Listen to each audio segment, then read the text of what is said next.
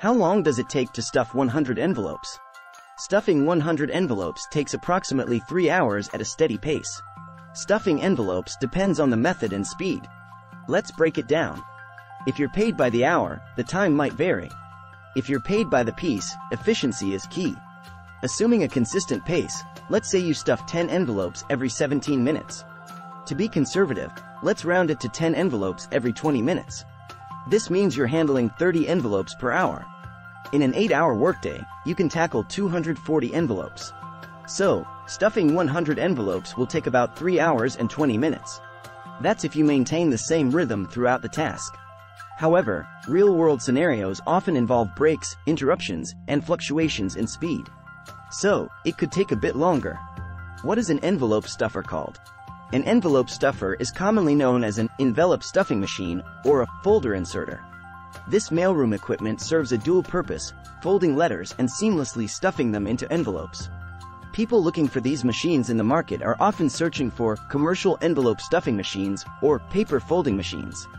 The term folder inserter is frequently used in the industry to describe this efficient piece of mailroom equipment. These machines are designed to streamline the mailing process, saving time and ensuring accuracy.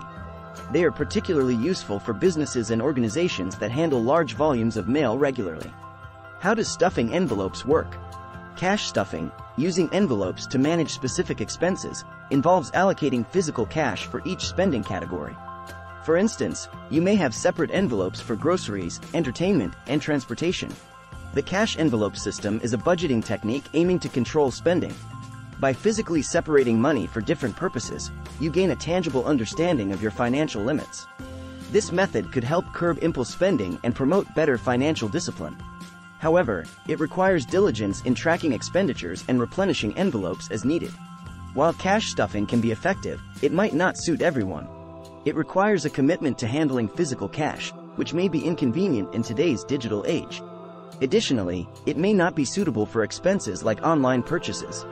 In summary, cash stuffing with envelopes is a manual budgeting approach that can be effective for those who prefer a tangible and visual method of managing their finances. However, it requires consistent effort and may not be the most practical solution for everyone.